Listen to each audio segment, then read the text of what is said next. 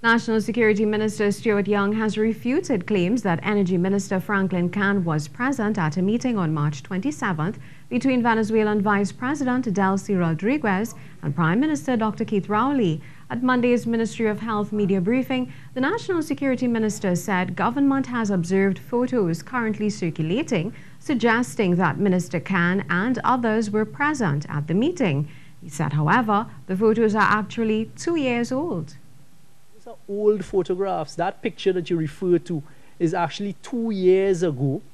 Two years, if not two and a half years ago, when Vice President Delcy and the then Minister of en Energy, Major General Quevedo, came to Trinidad and Tobago and we were discussing and pushing along for the Dragon deal. So that's over two and a half years ago that photograph was. And then is being suggested that is a picture and a photograph of the recent meeting on the 27th of March. Opposition leader Kamla Persad Bissessar had called on Prime Minister Dr. Keith Rowley to come clean on his meeting with the Venezuelan vice president and her delegation. Mrs. Persad Bissessar said the Venezuelan delegation comprised members of the Venezuelan energy giant PDVSA.